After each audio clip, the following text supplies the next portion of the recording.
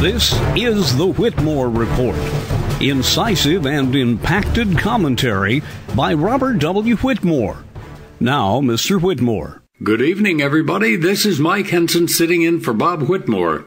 Bob is on special assignment this week. He will return to this broadcast next Monday, the 12th.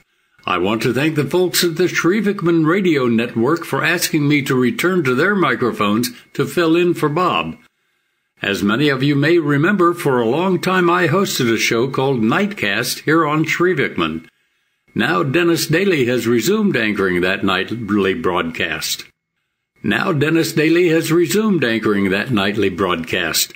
His program will be heard two hours from now. It airs nightly, Monday through Friday at 11 p.m. Today, the 8th of February, marks an important anniversary. On this date in 1969, the last issue of the Saturday Evening Post was published.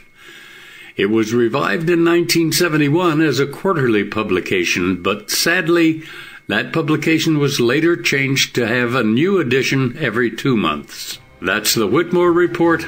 I'm Mike Henson sitting in, sitting in, standing in, laying down on the job. You've been listening to the Whittmore Report, incisive and impacted commentary by Robert W. Whittmore.